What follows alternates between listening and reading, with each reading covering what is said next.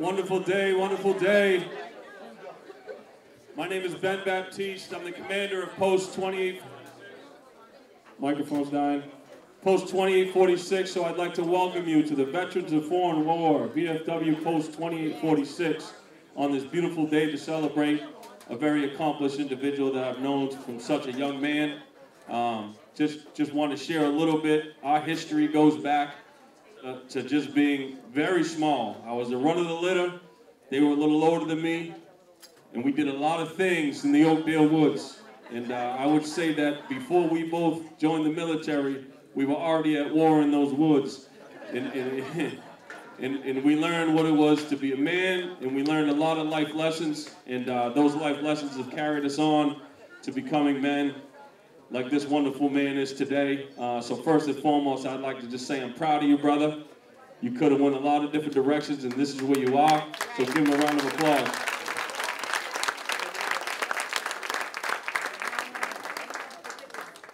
It's amazing that through a conversation, how words become action and action becomes things, right? So we started this conversation. It was more congratulatory. And then now I'm looking at the crowd and seeing how many people it brought together. And it's true testament of his life's accomplishments because there's all walks of life here, people coming from different directions, different age groups, and it just shows your impact on the community and on the world. So, so again, going back to that being proud.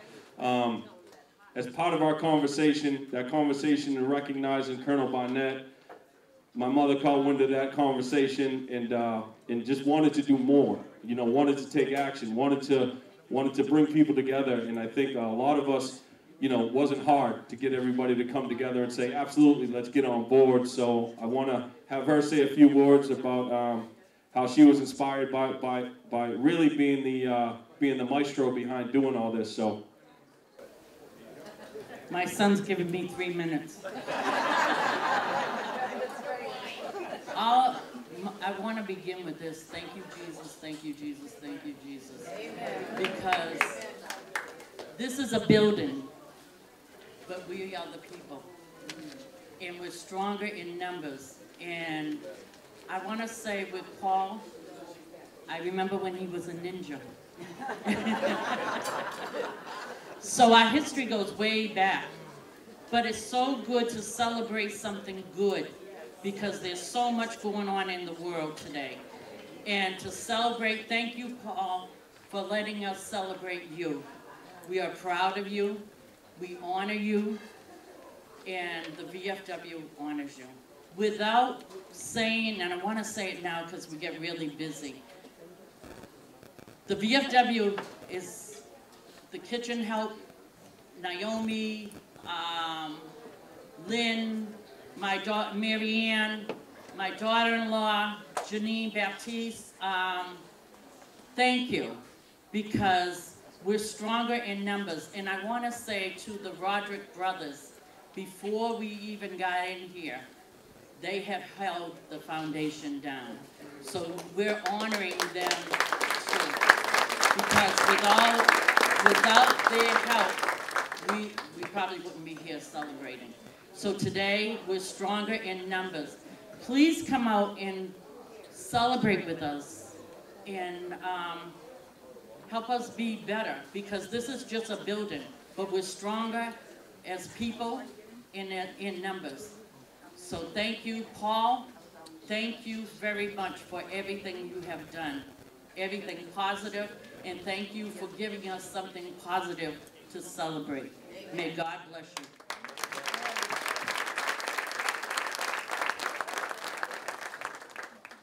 So before I, one of those Roderick brothers to present something to Mr. Barnett, um, I just want maybe people that don't understand the military dynamic to understand the significance of, uh, of Colonel Barnett's accomplishments.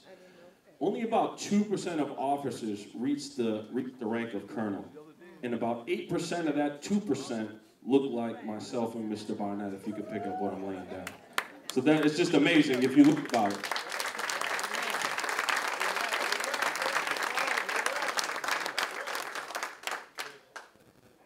There's 1.3 to 1.5 million people in the military. So that number just really should, should hit home on, on how much work it took to get there. So I want you guys to at least leave with that. And I'd like to have Mr. Rod Roderick speak and uh, do this presentation? He's been our quartermaster. This man is the most dedicated man. He's the reason why a lot of people are not forgotten in this town. I don't know anybody that has personally done more for veterans in this town uh, than Rod Roderick. So, so again, matter of fact, give Rod a round of applause before you even start.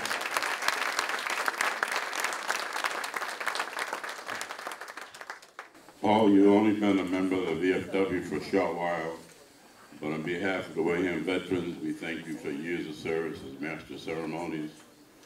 Um, last year we missed you, and I got stuck doing it, so. but we have an appreciation award for you. I'll read it. It says, Appreciation Award presented to Colonel Paul A. Barnett for meritorious and distinguished service to the Wareham veterans and community. Dudley L. Brown, Post 2846, and Incorporated. Thank you.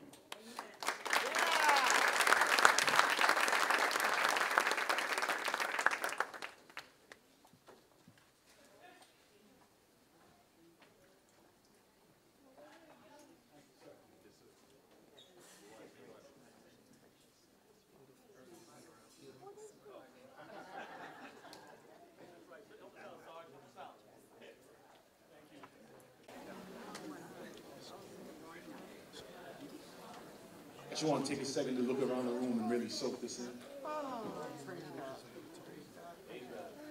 We usually have a moment of silence to honor our ancestors.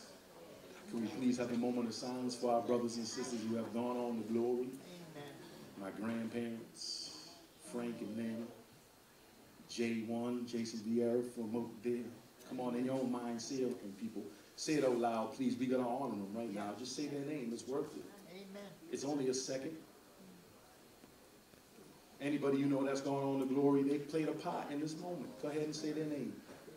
Trayvon Miranda. I hear you. Keep on saying it. They deserve this moment. That's right. I'm not here without them. Tommy Roderick, I'm not here without them.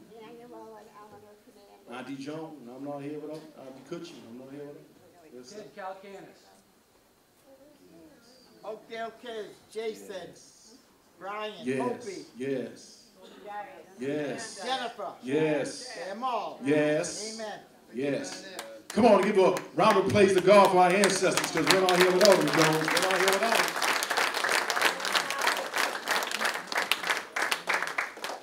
And that is why, DJ, it's easy for me to say, God is good All the time. and all the time. God is good. That's right. We heard the song earlier. He's a way maker. Anybody here know he's made a way for you? Because I know he's made a, uh, made a way for me. Mr. Mendes, Maya Angelou said this. Maya Angelou said this. People may not always remember what you say. Pastor Gabe, they said people may not always remember what you do. But General Maya Angelou said they will always remember how you made them feel. I want to thank you all in here today because I will always remember this day and how you all made me feel. Today I feel loved, celebrated, and appreciated. I want to thank you all for every hug, every handshake, every high five, and hey, five. Oh, come on, you can do better than that. I said I want to thank you today for every hug, every handshake, every high five, and hey, five. I say to everyone today, thank you. Thank you because we are living today in a day and a time where it seems like a lot of people, a lot of people are pointing out to what's wrong. But today, because of your profound presence in my life, I can point to you as an example for what is what is right in the world. Right. Amen. Amen. So I thank you all today for being part in what part you play in making me better and making the world better. Amen. Mom and dad. Mom and dad. I want to thank you for your example. I want to thank you for showing me respect, hard work, and community service. Since everybody told a funny story, I think I ought to be able to tell one myself.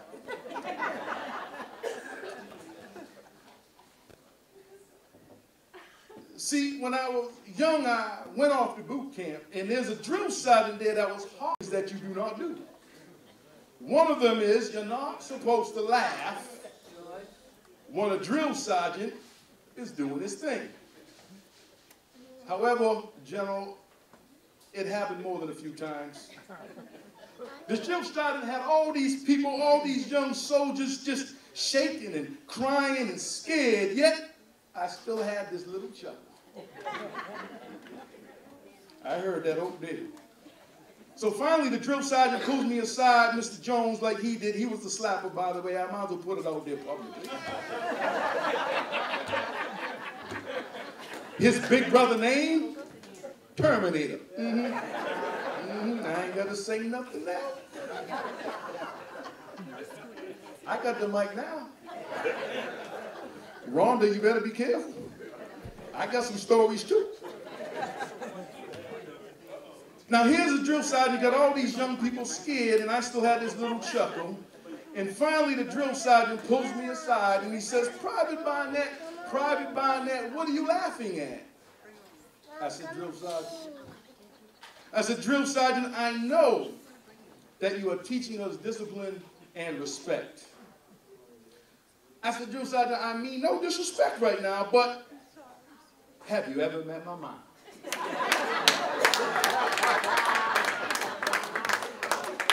True story.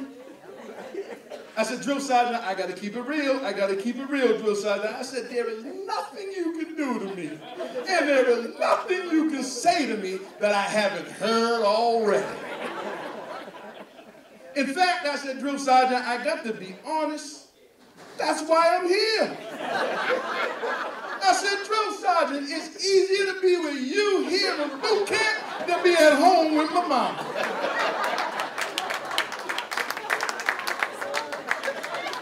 Mom, go ahead and stand up one more time, Mom. Go ahead and stand up real quick. Go ahead and stand up real quick. Stand up real quick, Mama. Yeah, yeah, go ahead, Dad. Stand up. Stand up. But Dad, you was the one that had to lick the wounds, Dad. Listen, y'all, my mama may be short, but I tell you, she got some long reach. She was like Ali. She floats like a butterfly and stings like a bee. Shoot, my mother like Mayweather. She's still undefeated, fam. She's still undefeated. What? About to get real up in here. It's about to get real. My mother has always shown me, Uncle Tut, discipline and respect and the proper ways to act and react to people. And if that didn't work, if she didn't work it out, ladies and gentlemen, she had this thing called the Mother Mafia, aka the Sister Squad, Jean, Jane, Joan, Laura, Elsa Mae, Christina, Rita, and Judy. For you that don't know, that's her sisters. Now understand this. The reason why I call her Mother Mafia and Sister Squad, this was before a time before cell phones. That's right, I'm gonna come over here with my cell phone, folks. This was a time before them cell phones. And believe it or not, young people, they didn't even have cell phones. But you know when you guys do a little stuff, you know, just a little stuff. Well, I did a little stuff too, and guess what? By the time I got home, it was her and the whole sister squad. They're like the mafia. They didn't have a cell phone. News travels fast in Oakdale.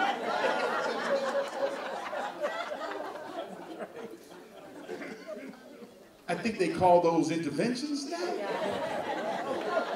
Hmm. Mom and Dad, because of you,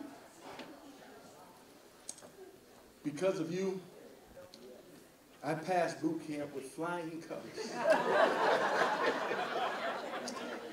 Well, flying colors and maybe a little couple push-ups. She's got a couple push-ups. And now your baby boy is a colonel. Amen. And not only am I a colonel, but I'm a colonel who knows that his mom is the general.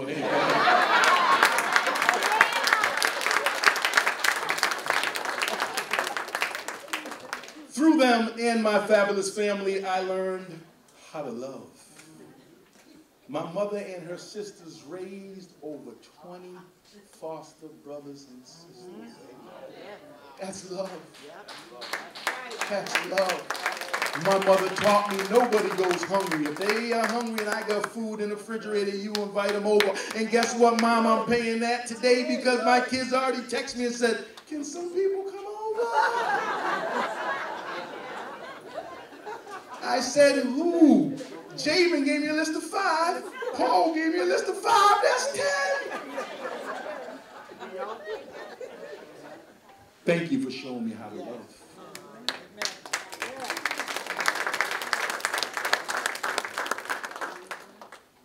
To my sister.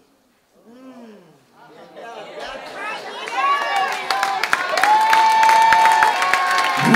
B in the building.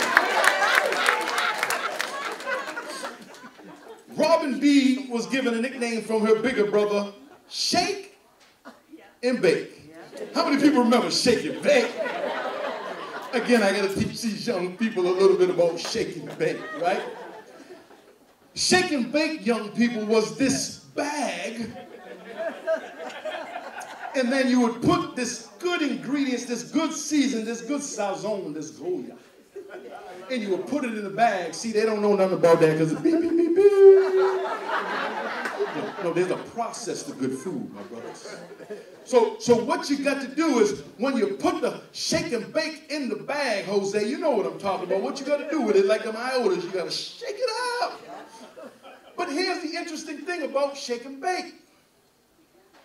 Whatever meat you put into it, even if I get Calcanis meat for my aunt niece. No, never. Minerva.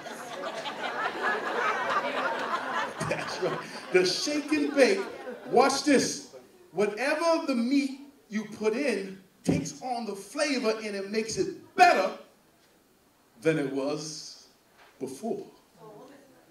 So, Robin B., you thought that I called you shake and bake because when you was on the court and I was in college and I had to travel down Route 195 and I had to go down Route 6 and take a left on Viking Drive and pay my $10. I think you owe me some money for all that gas. You thought that I was calling you shake and bake because of your moves. But I want to let you know that's not why I call you shake and bake. I call you shake and bake because you're the type of person that whenever anybody comes close to you and touches you, just like shake and bake, you make everybody better. Thank you for making me better. Shake and bake, Robin B.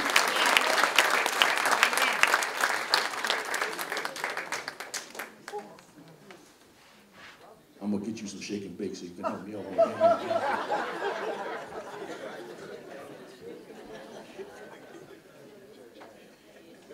And to my cell phone children.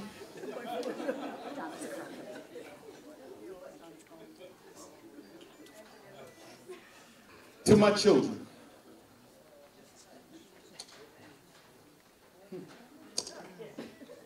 I remember driving down to the high school and putting you three in the car. Paul, Javen, and Heavenly.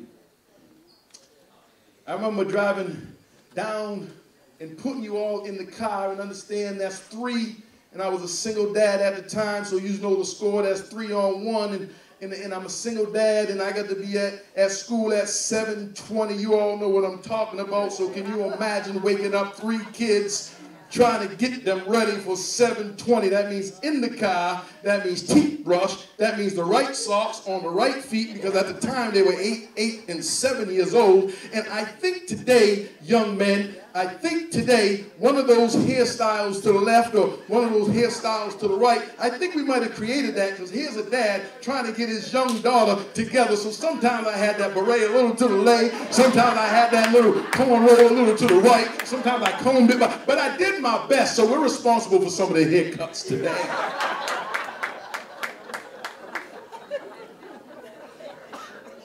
But if you remember, because I do, I taught you one prayer every day, Sheldo. I would teach my kids. They would have to repeat this prayer after me, or else I wasn't giving them no lunch money. they had to say this prayer. And the prayer was simply, Lord, teach me how to love right and live right. Quickly, real fast, look to your neighbor and say, love right. Look to your little neighbor and say, live right.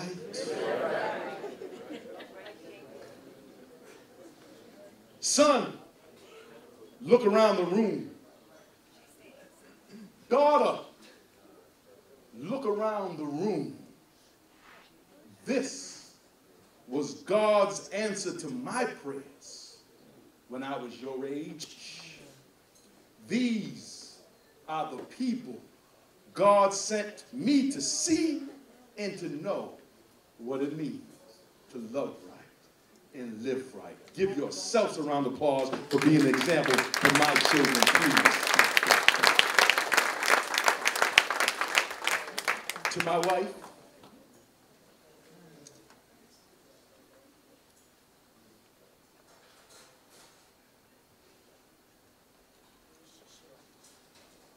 Present something to you because, sweetie, you are like the comforter in the cold nights. You are like s'mores. You didn't let me finish, man. Come on. Oh yeah. Oh yeah. Don't hey, and don't be still. Don't be don't be taking my line after this neither. I started off, I said, she's like the comforter on a cold night. I know what I said. I wasn't always the chaplain, Dr. Dre.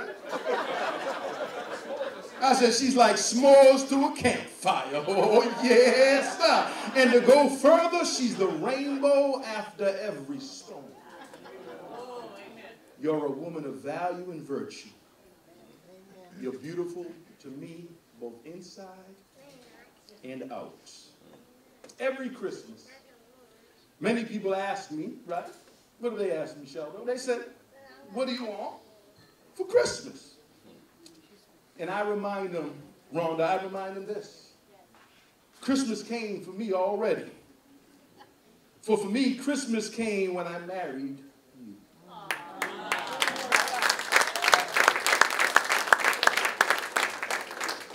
It was then, sweetie, that God gave me the greatest gift ever. And that is when you said, I've had a lot of titles in my life. But for me, by far, my favorite title is Kim's husband. Thank you, Kim, for all you do, and most importantly, for all you are.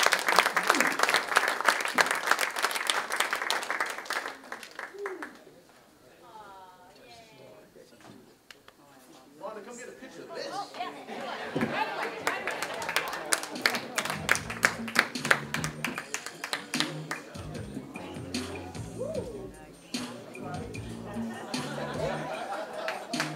I know y'all wasn't always a chaplain now.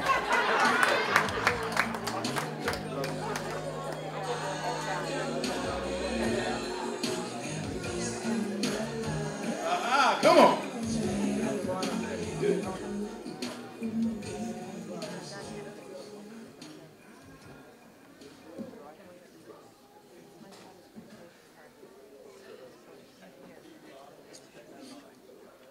Benji, Sharon, everyone on your committee, auxiliary, auxiliary in the building, chefs, cooks, Naomi, give it up for the food was so, so, so good. Janine on, oh, how do you say that right? Charcuterie? I like it. All right. Janina was awesome. Janina was awesome. General Minor, We got the generals in the house, right? You general yet? You a general? General of Massachusetts, Dana Sanders. Whoa! Let's give it up for the sisters in the Lord. Yeah. General. Woo!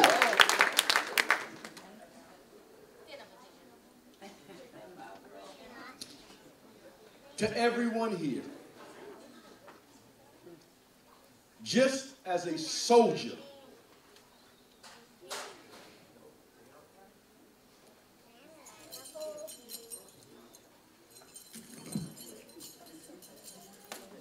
Love you, Paula D.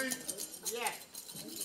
Love you too, Maki. I heard that voice. I know you're the one that pledged me back in the 80s. I know it was you. Just as a soldier has dog tags wrapped around his neck that drape across his heart, carrying them with him everywhere he goes in life. Until he takes his last breath. Know this that I have you all wrapped around my mind and across my heart. And like a soldier's dog tags, I carry you all with me wherever I go unto my last breath. So it is with heart thumping, fist pumping joy that I say to you in my native Cape Verdean tongue, Muito obrigado. Thank you, thank you. God bless, and I wish you God's best.